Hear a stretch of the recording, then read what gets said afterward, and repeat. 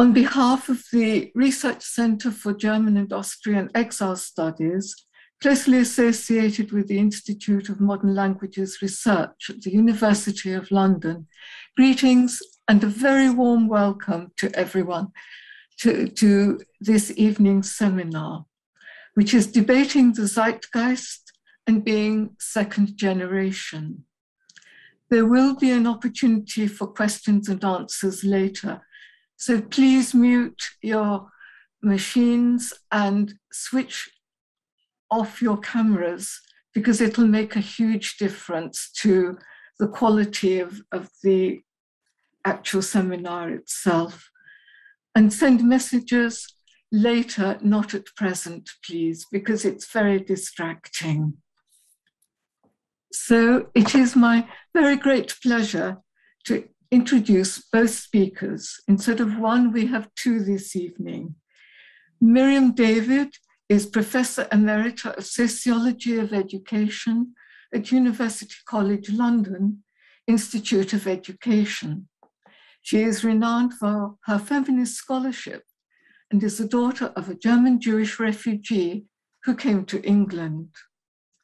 Merilyn Moos is a child of anti Nazi refugees who fled Germany early on.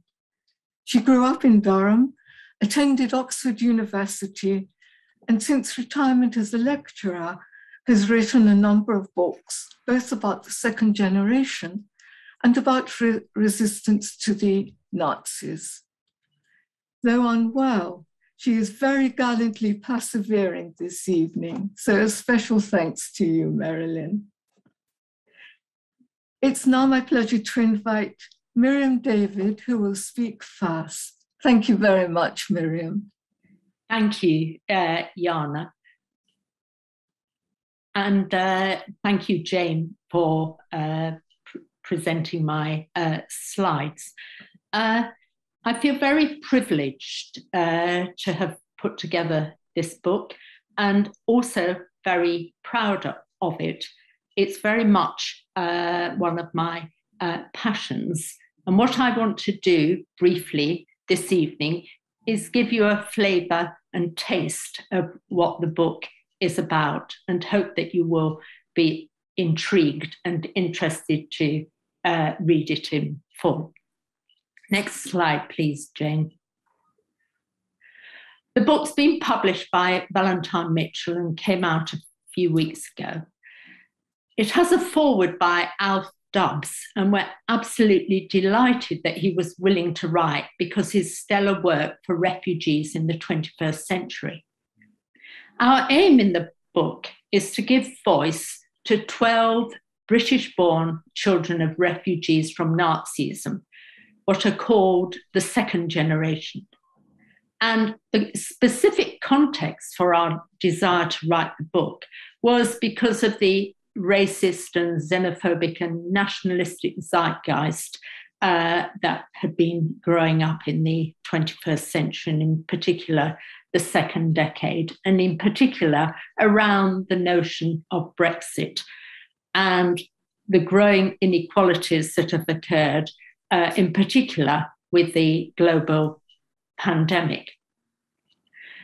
Uh, what we didn't know then is how continually uh, relevant the pandemic was going to be, and in particular, the issues about Brexit, and today, in particular, with the petrol crisis and the HGV drivers, uh, has uh, shown dramatically the uh, inequalities and impact of Brexit. Next slide, please.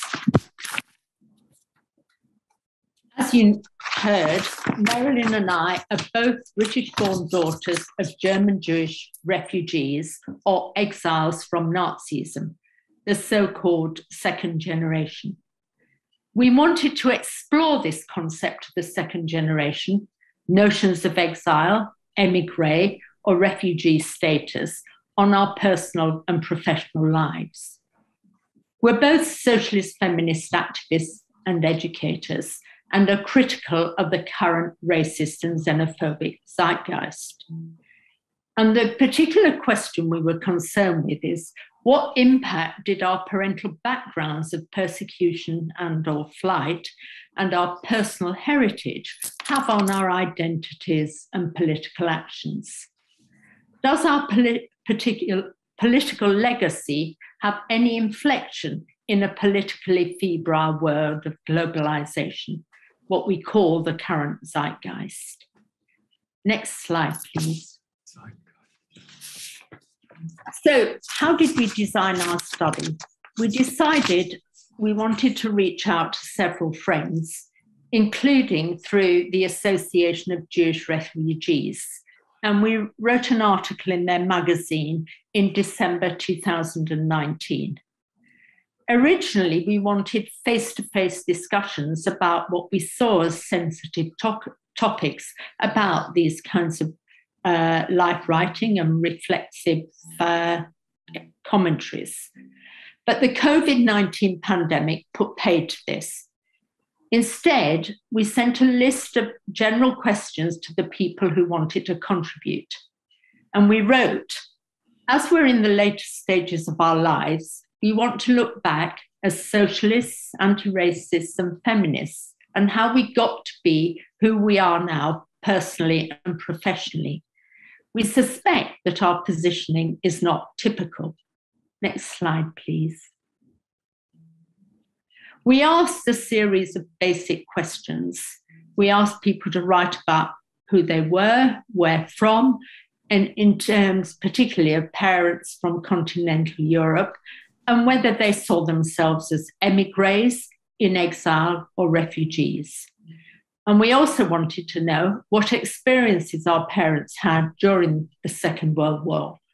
For example, were they interned as enemy aliens or did they fight in the war? Uh, and the whole question of internment uh, was rather hidden whilst we were growing up, but has become much more of a, an issue for uh, research and comment today. We also asked where people were born in the UK and whether it was during the war or afterwards, and where they grew up. And we were also interested in parental values and views, whether our parents were anti fascist, anti racist, atheist, secular, Jewish, and or Zionist, socialist, and feminist. And we were also interested in how our parental relationships and what implications they had for their having children and for us having children and what that how that played out in our present day personal and social relationships so what were the complex circuits and changes in our adult lives that led us to be uh, the people that we are today next slide please so, what were the communalities and differences in our backgrounds? We are 11 women with one man. One of us women has a very strong anti Nazi background and no Jewish affiliation whatsoever. We have very varied European backgrounds Austria and Germany, but also Czechoslovakia, Latvia, and Poland. And we have two additional people to uh, the 12 of us, Sophie Herxheimer had produced a collection of poems called Velkommen to Inklandt about her German Jewish grandmother's experience, experiences that illustrate the language that many of us grew up with and often its amusing aspects. Although it was not always how we experienced it, but her poems are produced as an appendix or a, a, few, a sample of her poems, rather. Uh, and in addition, the late Eric Sanders, who was a first generation refugee from Austria, he wrote to us uh, in response to our letter in the AJR magazine that he wanted to debate the zeitgeist in the Labour Party. And it was incredibly germane to our questions. So we've included his letter to us, which was a mini essay, also as an appendix. Very sadly, he died on September the 1st this year, aged 101, almost 102, because his birthday is just would have been December this year. And so he didn't live to see the final publication, but he did see all the contributions. Next slide, please. Uh, so, other communalities and differences between us are several of us have little or no consciousness of being Jewish. Others are steeped in the meanings of being Jewish, whether by religion or culturally, and its fundamental contestation and argumentativeness, what Alice Bondi, one of our contributors, calls jousting. Uh, Jewish logic and its relation to politics about anti Semitism, racism, and the general treatment of refugees also played a huge part in people's stories. The other point about our differences is that we have various different family forms that have implications for how we feel about being what is called in the uh, literature nowadays othered. Four of us are from mixed marriages, that is, only one parent escaping Nazism and from continental Europe. And in the other sense, too, one or two are from uh, mixed Jewish, non Jewish marriages, and others Jewish marriages, but from different generations of refugees. Uh, we have great difference in how many siblings we have or whether we're only children. But perhaps one of the uh, things that struck us in particular was five out of the 12 of us are only children. And we wondered whether that was significant. And some of us wrote about its significance to them. And then finally, lots of family secrets that come out of the stories which may or may not just be to do with being uh, second generation, but secrets about siblings, about divorce, and so on. And all of those are threaded through our stories. Uh, next slide, please. Meanings of being second generation. There's a, huge difficulty of the definition of what it means we chose to take it as being British born. Uh, but two of us were not. Peter Crome and Ines Newman uh, were had parents from continental Europe and were refugees. And in particular, Ines's grandfather uh, was a refugee, and she has recently written about his refugee experience in internment. Uh, and uh, both of them arrived as babies or small children. So they were born elsewhere than Britain. Irena was born here, but she was brought up from the age of three in Germany, only returning as an adult to the UK. So that gives a flavour of the difficulty of what it means to be British born, second generation or not. 10 of us then were born in the UK uh, not mainly in London, but now the majority of us do live in London. There is huge diversity as well amongst us, uh, our parents, as to whether they see themselves as exiles or refugees from Nazism. Virtually all are grateful, in inverted commas, refugee parents rather than exiles or even emigres. There's huge diversity as how we're brought up as atheists, agnostics, or secular, or culturally and religiously Jewish. Only a third of us had any Jewish education or knowledge of Judaism, but may, all of us were mainly liberal to left, socialist, and one or two of us had communist political commitments amongst our parents. So, um, finally, there were large social class differences in our backgrounds and upbringing. Next slide, please. The significance of being second generation was also diverse. Uh, and whether or not we have tried to create our own families from these psychologically tumultuous events is very varied.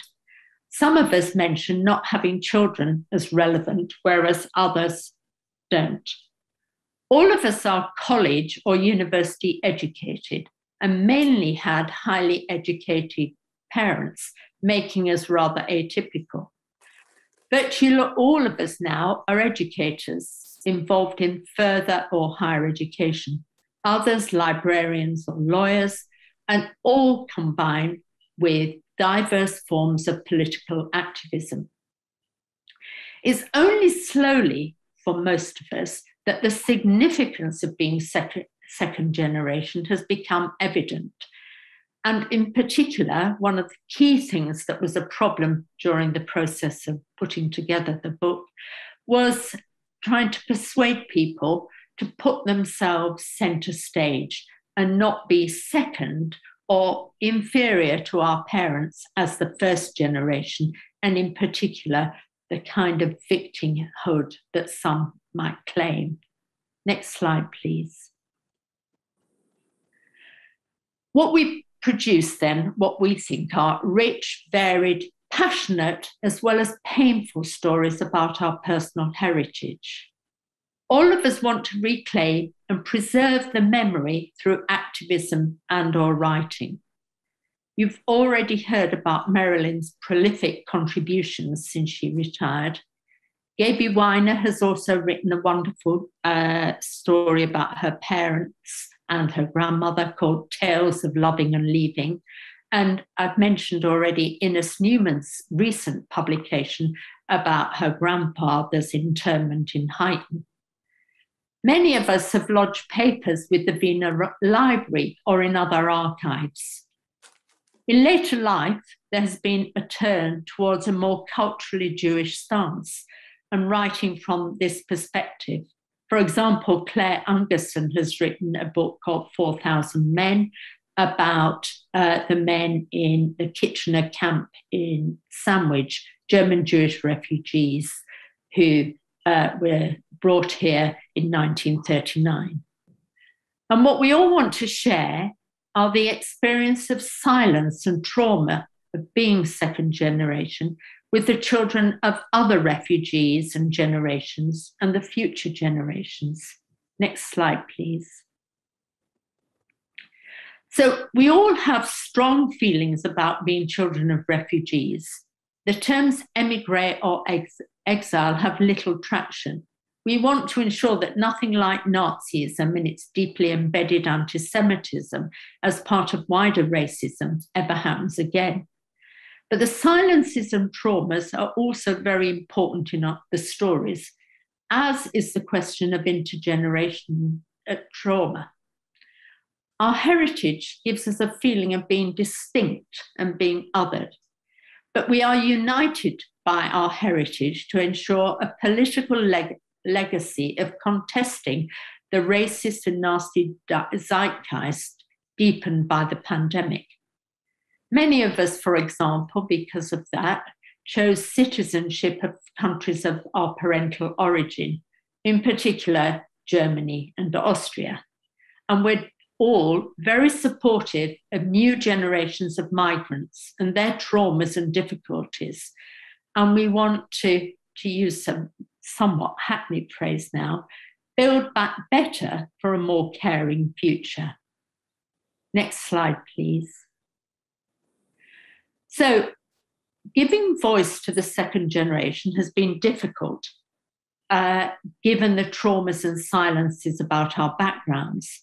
But it's also been ultimately rewarding as we share a commitment to being supportive to new generations of migrants and their difficulties in making new lives in foreign places with language and cultural barriers. Uh, like the toppling of statues of racists, which has been such a debating point. Histories are made and remade. We are reconstructing our histories and our identities, and we too are history. We're all committed to gender, social, and sex based equality, human rights, and anti racism.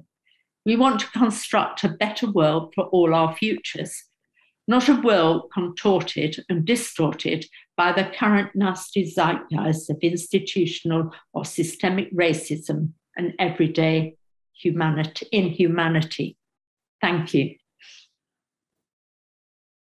Thank you very much, Miriam.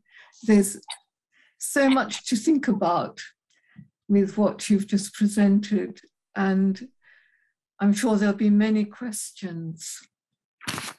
Turning now to Merilyn Moos, who will now speak. Thank you very much, Merilyn. Okay, uh, thank you. Thank you for inviting me, inviting us.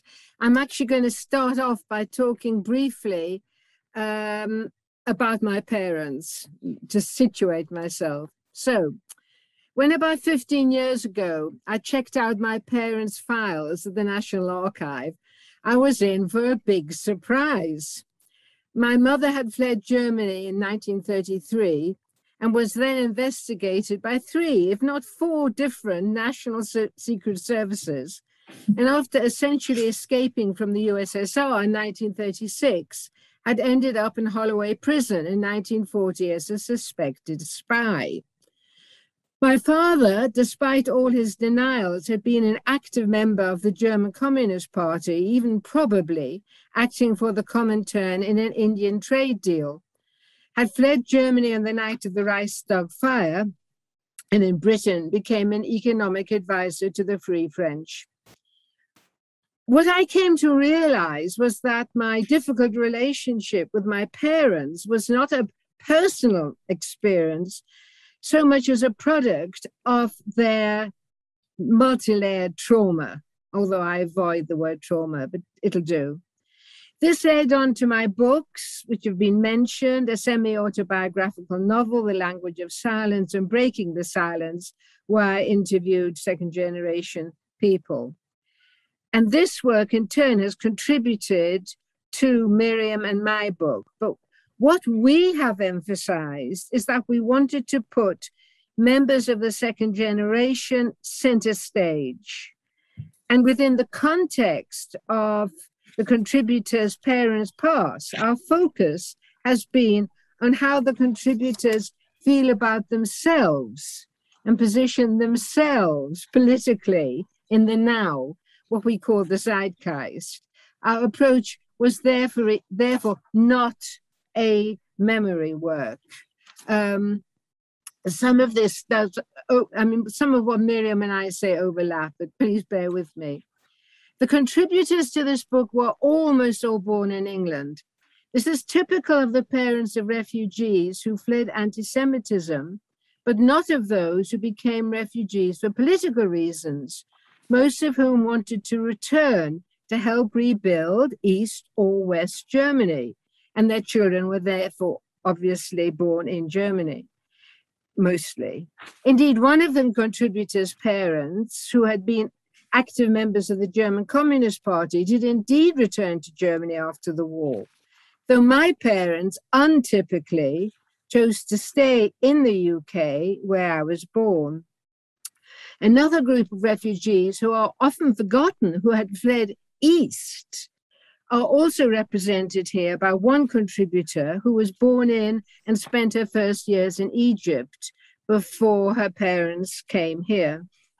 The, contributor, the contributors are not necessarily typical for two other reasons. Firstly, we are a load of very success, generally successful middle class and middle class. And secondly, we were almost all women. Uh, that was partly choice. But so our concern was not the character of the second generation as a whole. As Miriam said, we don't we don't we don't see ourselves as typical. As readers of the book will observe, being second generation was not something we all readily embraced. And Miriam has already talked about some of the problems about this. So, for instance, for me, being second generation only became a signifier when I started to unearth my family's past. And the same applies to other contributors. When young or young, youngish, many of us did not define ourselves primarily through be, being the children of refugees. And I mean, in fact, as Miriam said, there's a whole lot of upset and, and disturbance about tapping into tapping into that that realization um, key themes emerged from the contributors Most of the contributors' parents, though not all, had fled because of the Nazis' extreme anti Semitic practices. This raised the issue of what Jewishness meant for the contributors. As ever, there was a wide spectrum of perspective. Most of the parents were Jewish within a cultural rather than a religious paradigm. Some of the contributors have been brought up by parents seeking assimilation outside a Jewish context and had worked their way into seeing Jewishness as crucial to understanding who they are now. Others have been brought up to fully embrace their Jewishness, though of a cultural form. Jewishness was often understood and associated with morality, tolerance, and anti Semitism. On the other hand, my parents, who were historically Jewish, they did not define themselves as Jewish, neither do I, but fled because of their active resistance to the Nazis, as did another contributor whose parents were not in any sense Jewish. So the contributors' attitudes to Jewishness varied significantly. An overlapping issue was the contributors' attitude to Zionism. While none of us were ardent Zionists, there was a clear spectrum from those who supported Israel, even if critically, because it offered a homeland to Jewish people, to contributed to, to contributors who opposed the state of Israel as presently constituted and did not see it as a resolution for anti Semitism.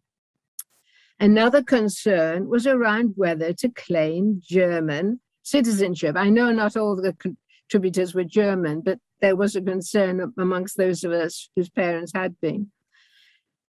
The decision by Britain to leave the EU had intensified the question of whether to take up this long standing German offer to the children of refugees from Nazism, although this was more complex than I'm going into. Yeah. Before Britain's decision to leave Europe, the contributors were not so concerned, concerned about claiming German citizenship. Most of us had been brought up to be British or maybe English. Moreover, we'd grown up in a period after the Second World War where claiming German roots was certainly not popular. With a couple of exceptions, the respondents did not perceive themselves as Germans, Austrians, or whatever their parents' nationality had been. Parents spoke English to their children. The recent growth of the right in Britain and a desire to be able to stay as a European had raised the issue of German citizenship up our personal agendas. Again, there were divided opinions. On the one hand, one contributor was clear that her parents would not have wanted her to become German and therefore she would not apply.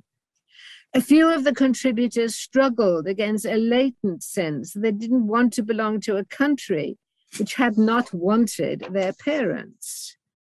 Then there were those who embraced the offer, seeing present day Germany as no longer a vessel for people who had been Nazis and wanted for themselves and sometimes their children a continuing right to live or work in Europe. One contributor highlighted the quandary of where do you come from? A question many of us have been asked repeatedly born in the UK, Miriam's actually already mentioned her, born in the UK, her parents had gone back to live in West Germany, but she had then returned to live in Britain as a young adult. There is no quick answer to where do you come from, which she writes about in her article. The mm. ambiguity of our heritage was also represented when a couple of contributors, though born and bred in the UK, said they hesitated when ticking British in any survey or questionnaire. All of the contributors were committed to reforming the present political system for the better. It is significant that all of us have found jobs either in the public sector or in some form of public service. We were teachers, lecturers, doctors, librarians, therapists, planners, etc. Almost none of us had become serious entrepreneurs working in the private sector or sought out work for financial gain. Moreover, we saw our jobs as a way of putting wrongs right. We taught English to refugees or worked in schools with a high level of refugee children or became actively involved in developing anti racist teaching. one contributor who was a lawyer specialized in human rights. More broadly, there was a wide diversity in political responses. Almost all of us saw ourselves as feminists, though a couple of the contributors perceived a feminist perspective as dominant in their lives and generally. Almost all of us have been involved in anti racism in one form or another, some in our workplaces, others organizing more widely. One contributor had campaigned against internment, but two or three of us, with the greatest emphasis on the active transformation of the political system. A couple of the contributors at some point had belonged to the Communist Party, not me, Many of the participants saw themselves as broadly in support of the Labour Party. Dear. And were or are members. One contributor wrote about how painful this presently was, given the Labour leadership's targeting of the wrong people for anti Semitism. Some of us wove together our past and present. One, one contributor, who was a lecturer in social policy, wrote a successful book about a local internee camp during the war, uh, Miriam's mentioned. My two most recent books have been about German anti Nazis. A couple of the contributors have written about understanding the interaction between their present and their um, parents' past, a pursuit which is far more emotionally draining than it sounds. Yet all the contributors, though, I mean, you know, we have really been a successful lot. But if you read the articles, you'll find many of us still refer to feeling like outsiders or, in some fashion, othered. A couple of the contributors wrote about the present pandemic. The COVID pandemic feeds into an ex- existential sense of threat to our being, which some of us had absorbed already from our parents. Though I imagine we have all been vaccinated between an incompetent neoliberal government and a highly adaptable virus, this pandemic feels like we are in the grasp of a potentially deadly and uncontrollable force, which there's little we can do about apart from hide away. But being in hiding is also resonant. For some, the COVID pandemic resurrects the specter of death especially given our age. This study is only too topical. We were all fearful at what was going to happen next under a post Brexit populist and racist Tory government. None of the contributors appear to have supported the decision to leave Europe. Europe, including the UK, is facing the greatest refugee crisis since our parents. Millions are fleeing their homelands, a consequence of global conflict, persecution, and escalating climate change.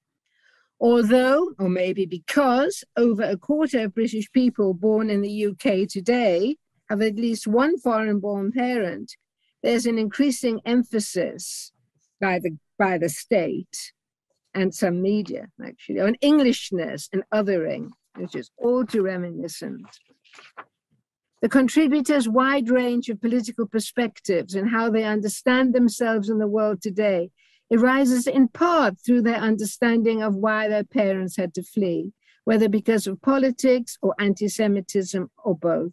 But what all the contributors held in common is wanting to stop a similar horror occurring again and a desire to put right the wrongs of this present highly unequal system. Thank you.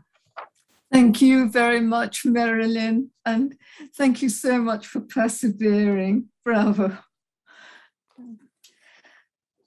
We now move on to the next part of this evening's seminar, which is questions and answers. If you can hold out, both of you, that would be tremendous. Um, I must first mention, though, that this seminar, as Jane mentioned earlier, is being recorded.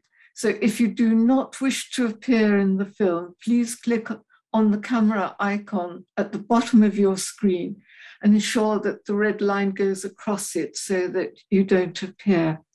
Otherwise, could you please unmute if you wish to ask a question but ask it through the chat box because there are too many people to just ask you to hold up your hand. And if you could please kindly make your questions brief rather than long statements, if you could possibly, please.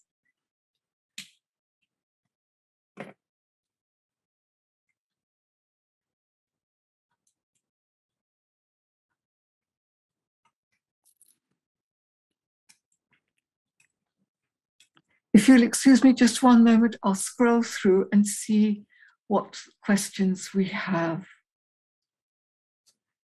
Both talks are so profound. The whole question of whether one is an emigre, an exile, a refugee, and the differential between them and how their children were lives were shaped is extremely profound. And one could speak and discuss this all evening.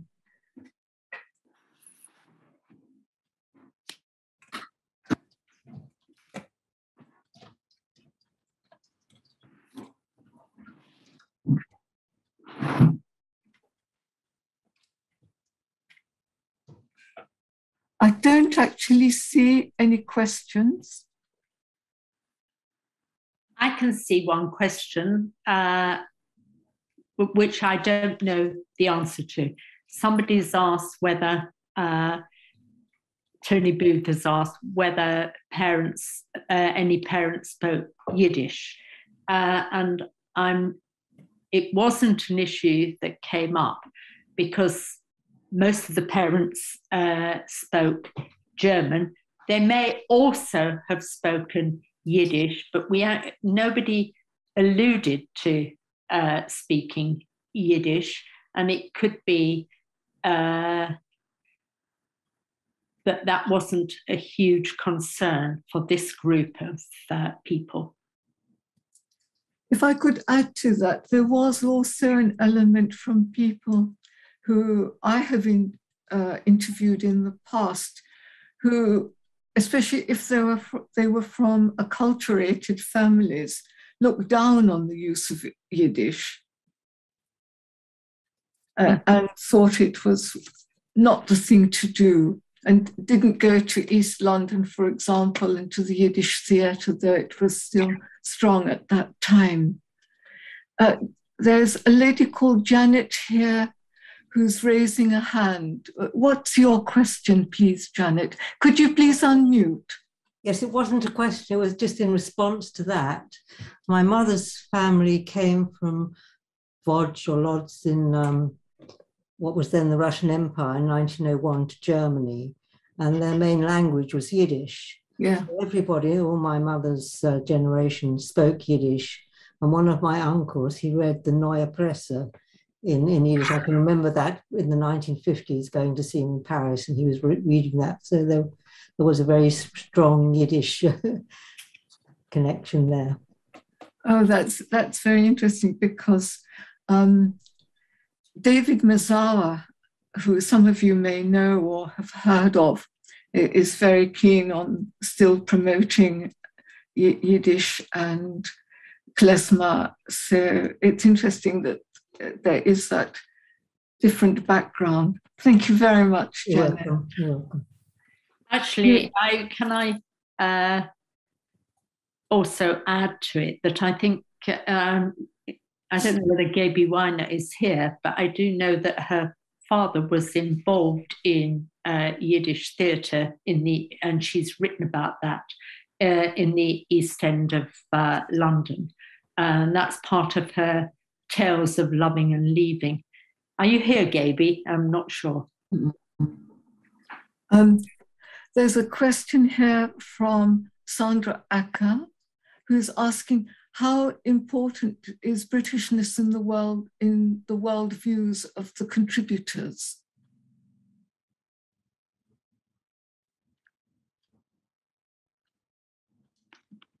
do you, what's your perspective of Britain today in the world? Well, I would say that uh, people were, on the whole, and Merilyn may want to come in too, or other contributors, on the whole, most people felt very critical now of mm-hmm. the way in which the British government were behaving.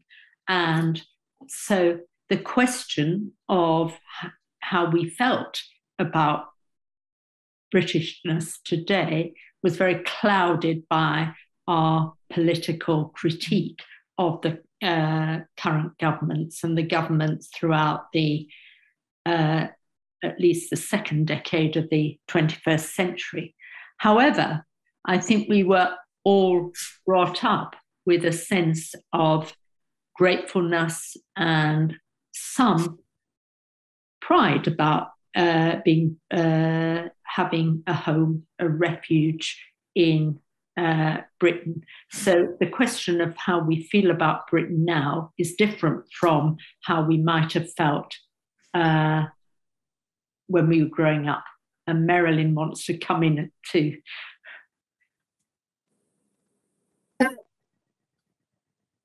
Yeah, I mean, I I don't entirely agree with what you just said, Miriam, because I think that a lot of the contributors, there was always a certain ambigu- a certain level of ambiguity about how far they defined themselves in terms of their parents' nationality rather than, if you like, the country here which they were born in. I mean, you know, I, I think that ambiguity run, runs through a lot of us. Um, also, I mean, I was brought up in a in a family where being British was not celebrated, but but that's but I think they're different things. Mm-hmm. We, we have been... uh, actually, uh, Claire has, uh, Ungerson has put a note in the chat. She's one of the contributors. And it, it does speak to my experience too.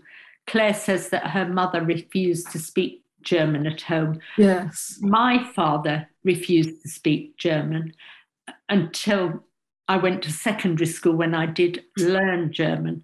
But I, I learned it in a very uh, English way. I had no real experience of uh, regular daily German, although some of our other contributors were brought up with them uh, speaking German at home and reading German uh, nursery books. For example, Maggie Gravel mentions that in her chapter about how she grew up on uh, children's uh, small children's books in German. There so is diversity. Yes. Oh, sorry, Merilyn, go ahead. I agree. I agree. We were talked to in English. We may have had German nursery books, and then we didn't. But a lot of people, not me, in fact, but a lot of people did have relatives who had survived. I didn't have relatives who survived, but a lot of people did. And so, I mean, you know, I, I think that there was a, there was all, for many people, there was this consciousness that things were not simply British or were not simply English. You know, you had a grandmother, an uncle, a cousin, or whatever, whatever it might have been, um, so that you, one was not the typical British family, you know, in one way or another. Yes. W- would you say, uh, Miriam and Merilyn, that language is so closely bound up with identity? Whether here in Britain, as British born women, or in, in a broader sense culturally in general terms. And to and that that's vital to an understanding of one's own culture or family culture because as Merilyn has said some people did survive and the only way they could speak to their relatives was in german or czech or polish.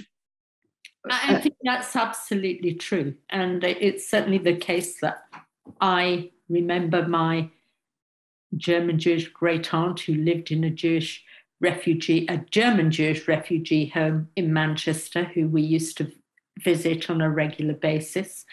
And my uh, father uh, spoke to her in German because her English was extremely poor.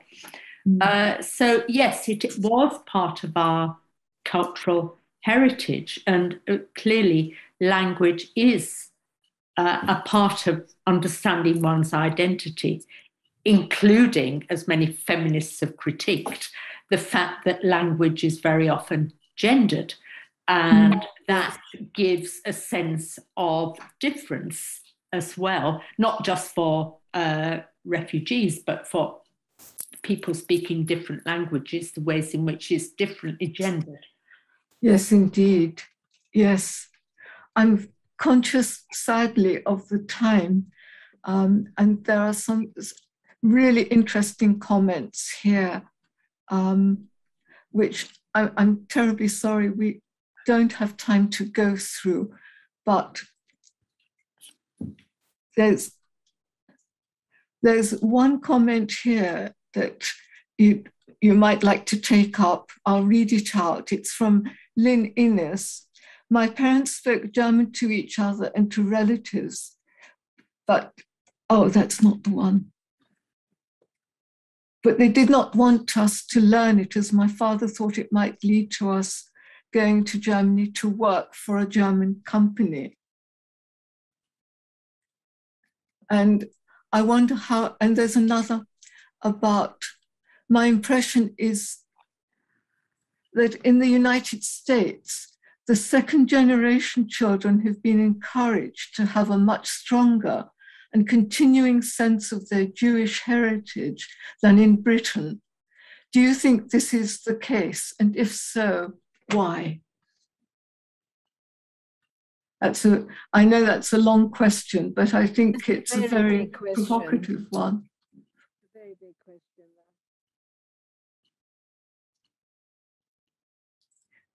I remember interviewing one lady who said that when she went to the USA, she was always introduced as a victim and she wanted to be introduced as a survivor.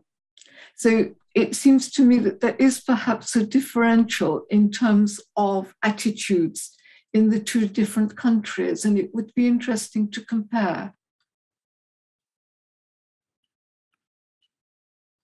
It, would be interesting to compare, uh, but we had so many uh, issues to compare and contrast that it was uh, the point of what we were doing was trying to bring together a group who in themselves were not typical, but try to spell out in what ways they they felt it was important to uh, keep alive the sense of being a refugee and to help other uh, refugees in similar but perhaps uh, different circumstances too. And we uh, we didn't we didn't want to just do a compare and contrast study. We wanted to bring out the richness and diversity of our uh, backgrounds. And uh, I think Jeffrey Newman, in one of the comments, which I read very quickly, asked uh, a question about were we implying that everybody was middle class? And we certainly weren't uh, implying that. Uh, and in fact, one or two of uh, our contributors felt extremely strongly about their uh, working class uh, backgrounds being important to them. Uh, but uh, they also felt uh, that what their, that their survival was a survival against the odds, and this was an important issue to elaborate. Mm. There, there is another aspect, and that's been covered here as well by Alice Bondi. Um, during the war in Britain, here, of course, refugees were strongly discouraged from speaking in any foreign language, which wouldn't be recognizable to Britain necessarily to English people, whether it was Czech or Polish or German um, and consequently, for those children who grew up in Britain much earlier on, never learnt German. And, and that situation just perpetuated itself after the war. Um, and that perhaps is an important factor here, whereas in the States, perhaps the situation was different too.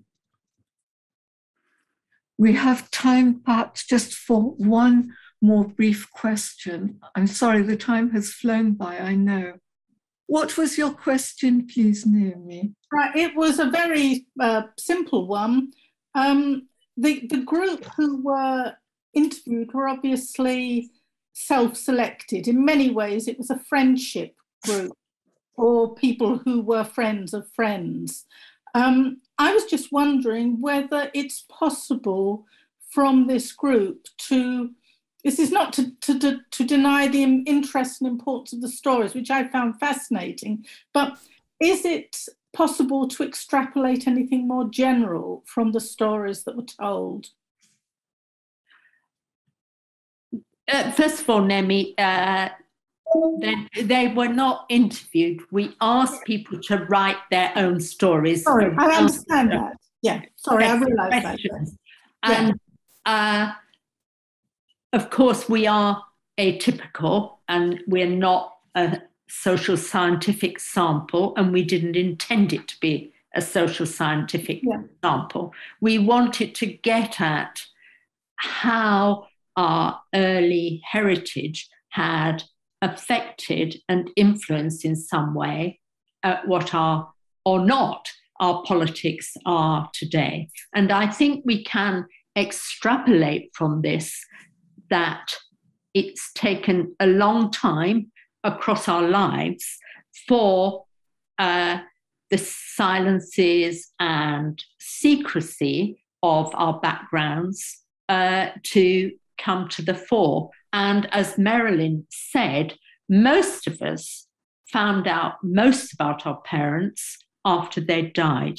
Very few of us uh, knew much about. They, we knew something, but we a lot of the issues were hidden uh, in. Uh, and we found a lot of them out from, uh, for example, going to the National Archives, as Merilyn has mentioned.